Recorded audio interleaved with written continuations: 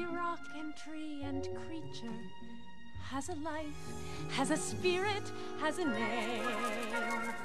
Think the only people who are people are the people who look and think like you. But if you walk the footsteps of a stranger,